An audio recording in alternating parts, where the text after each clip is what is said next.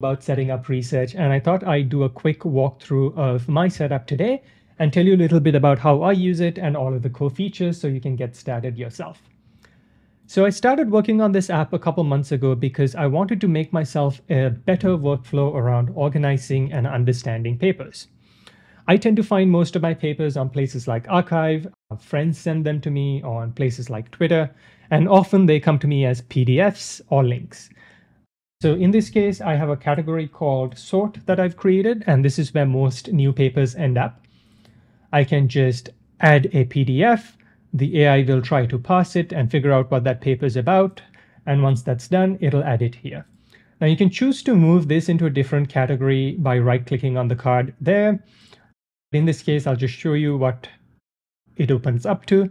So you get this PDF viewer that you can use to start reading the paper with you'll see that the AI passed out things like title, year, authors, and sometimes some of these additional details as well.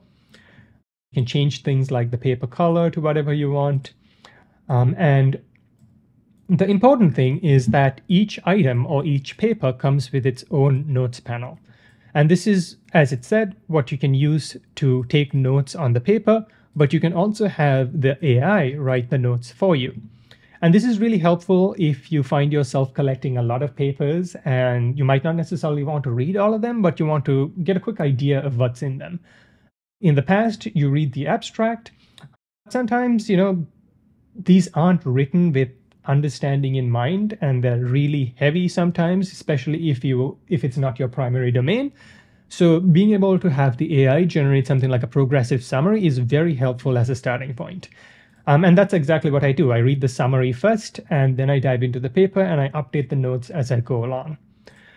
As you can see, the notes panel also does have three tabs. The first one is for your notes. The second one is for your annotations. So let's say I want to dive a little bit deeper into this section on the abstract. I can just add an highlight. You'll see it pop up here, and you can just ask the AI to explain it for you. And this is a quick and easy way to dive into specific portions of the paper and have things explained for you really quickly. The third tab is for chatting, and this is just general chat over the whole paper. So you can ask any question you want really. Uh, in this case, I'm just going to ask for a TLDR and the AI is going to provide that for me.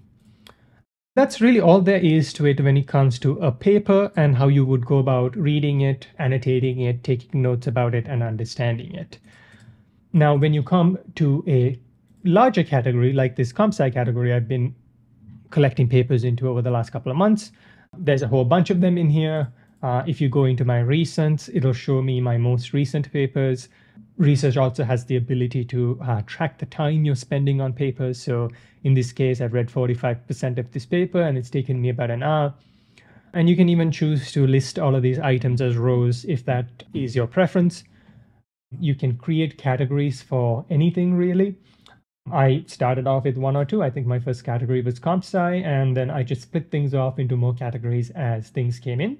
So my advice for most people is just start with one category.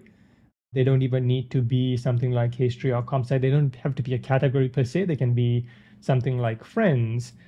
If you want to just collect papers that your friends send you, it can be related to a project it doesn't really matter. It's really up to you how you want to set this up.